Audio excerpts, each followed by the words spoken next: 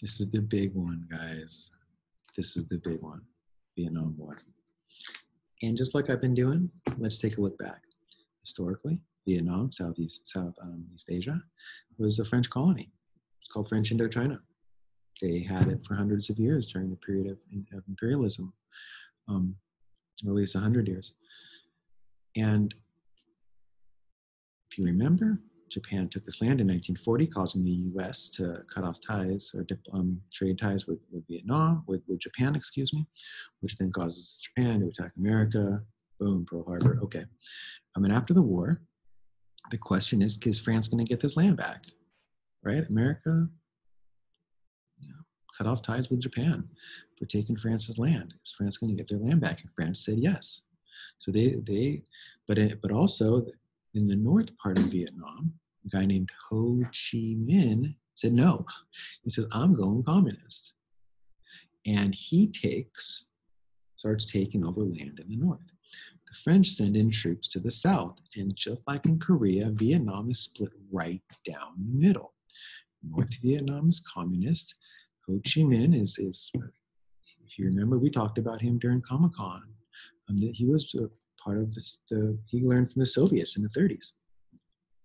And in the south was France, okay, um, who wanted to stay capitalist and had a nationalist government in power.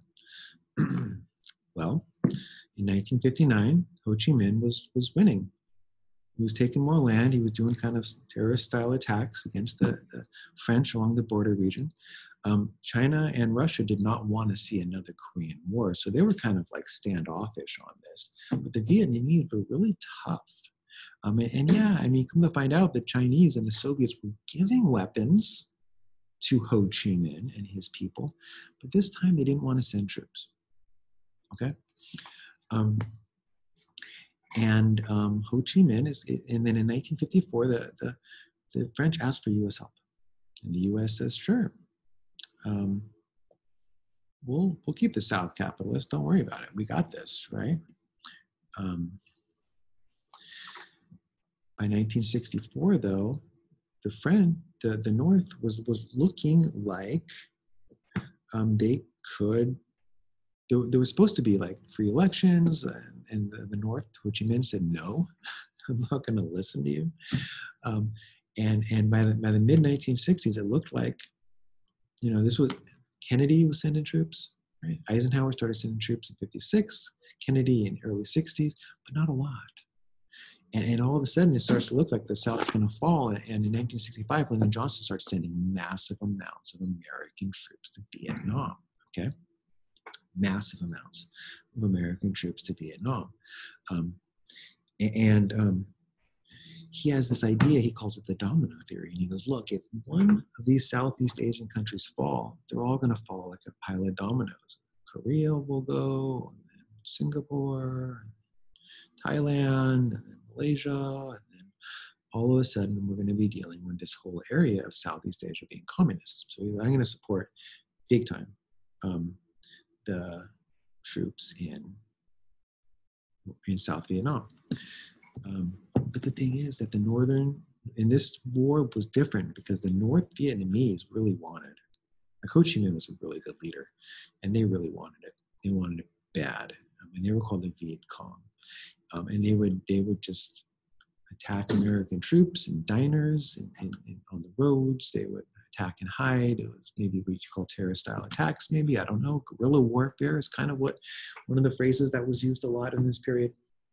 Um, and, and but something really weird had happened during this time. TV had become a big thing. And in the United States, TV had turned color. Look, color pictures. okay. Um, look, and, and, and every day on TV, you would see this. You would hear about American soldiers in Vietnam being killed, and you would see color footage from it. And, and at that point, and they don't do it anymore, they used to allow the news in the front line.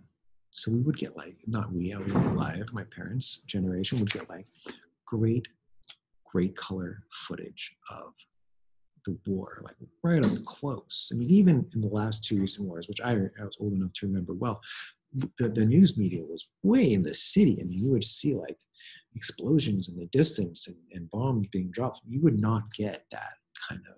They, they, they'll never let that happen again because it freaked Americans out. Americans are watching their TV and they're going, "What is going on here?" And, and whole group of and, and, and during. Let me just stop for a second and say, look, during World War One, during World War two during Korea, during Vietnam, there were military drafts. Okay, especially after 65, they started picking up high school boys at 18 and sending them out to war.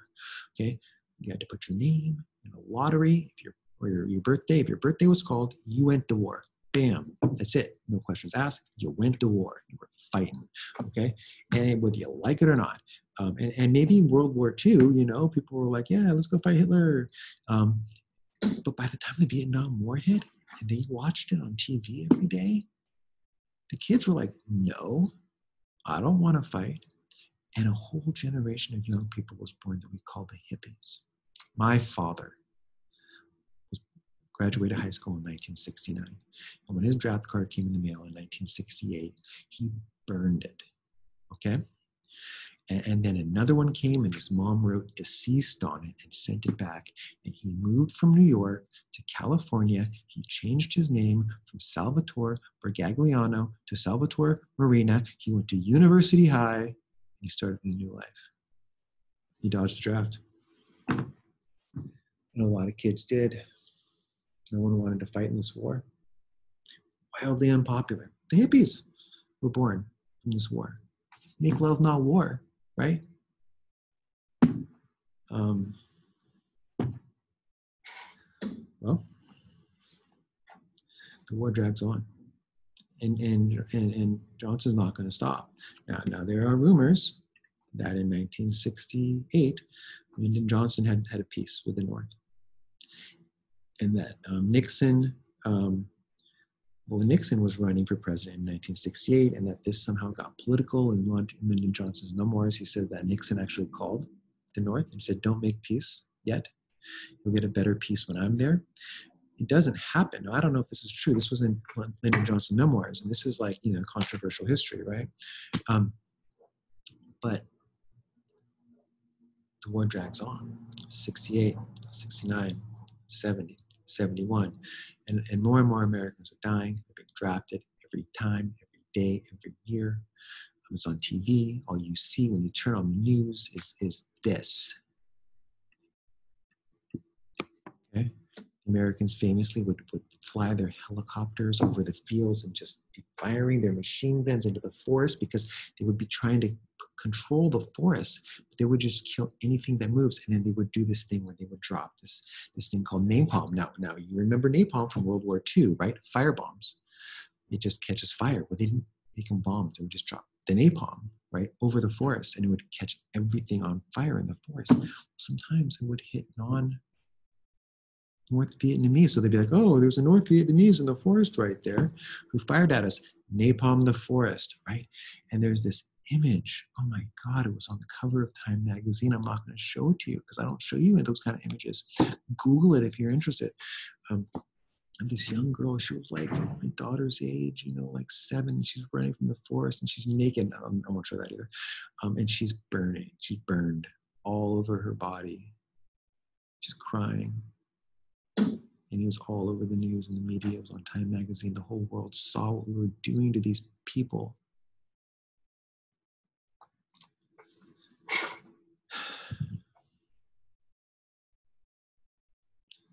We lost that war.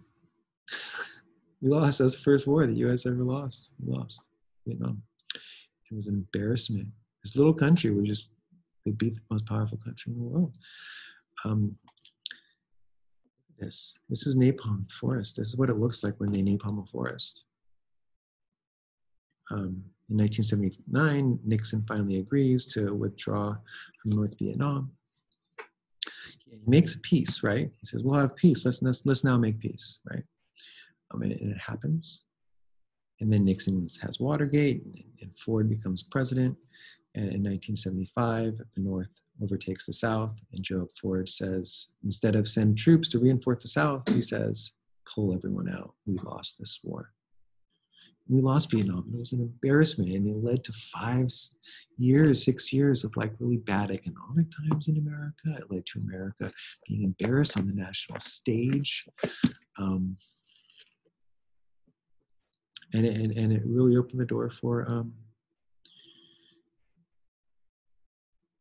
well it, it, for america to have a tough decade a tough the 70s were tough times in america. The beginning of the 80s were bad economic times. Um, you know that's why in part reagan came in and he said we need to we need to start over. Morning in america let's have a fresh start because things aren't great right now.